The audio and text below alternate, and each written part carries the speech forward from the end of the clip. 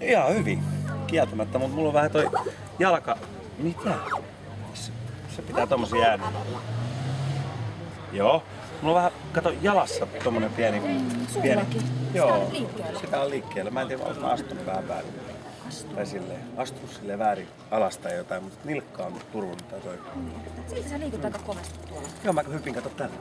No mä kattelin, että se oli jotenkin toispuolista, että Joo. tältä puolet ei saanut kuvia, Joo. mutta tuolta puolet sain paljon Joo. parempia. Kyllä. Mulla on tää ekstra kysymys aina. Joo. Tää oli pikahaastattelu.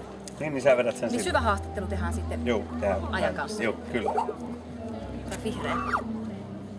Kuka on vasemmalla puolellasi olevan henkilön mielestä tyttöin leppätähti?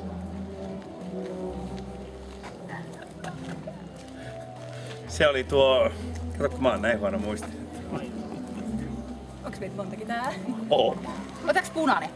Okei. Okay. En mä itteeni halua supernuoriksena mitenkään kehua. Niin. Imitoi tähtiä. Imitoi mikä? Pop-tähti. Imitoi pop-tähteä. Minäkö? Niin sinä. Hmm.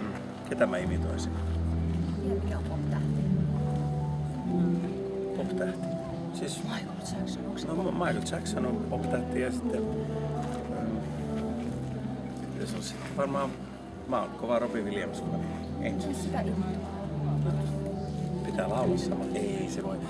Pitäisi olla joku tommonen, mikä liikkuu vähän tai jotain. Mä... Niin sä et osaa liikkua tässä, kun ei ole lavaa. Ei. Sä Tää on vähän sulla hankalaa. varmaan vieterit noissa jaloissa, koska heti kun sä astut, Niin, niin sit mä oon ihan eri. niin se on mä niinku katson joku- eri ihmisiä Se on joku ihan toinen. Joo. Se on vähän mullakin, että mulla on identiteettiongelma.